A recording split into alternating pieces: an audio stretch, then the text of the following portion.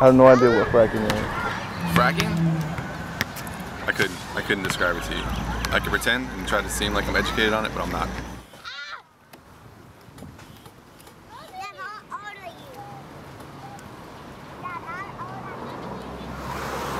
I don't know, but what little bit I do know, it has something to do with adding water somewhere to get more energy from someplace.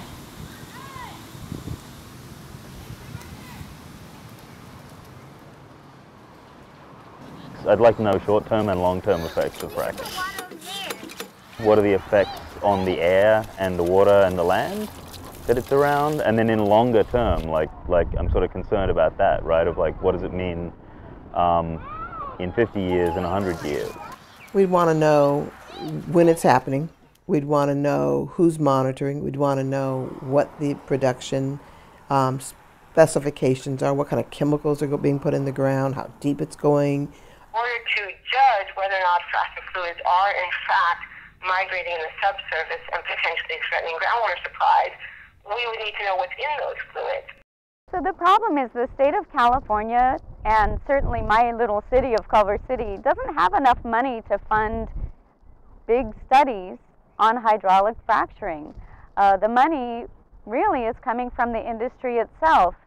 Fracking is expanding right now in California without state regulators even tracking where it's going on. So there's no fracking specific regulation, and regulators aren't even collecting information about when, where, or how. I want lawmakers, I want to feel like they care. I want them to send their own people and do their own studies. I don't want to feel that I'm being fooled by oil companies. I think if it's going to be for us, it's good. For the city itself, it's good. But now, if it's going to be environmentally bad for us, I think it's we could search other ways to, you know, do it the right way. LA is a basin, and this is not just going to be a local um, Baldwin Hills, Culver City issue. This will definitely impact all of Los Angeles for many years to come. Corporations do have some rights to protect their investments, but they also have some responsibilities to provide the public with the right information to evaluate health and safety claims.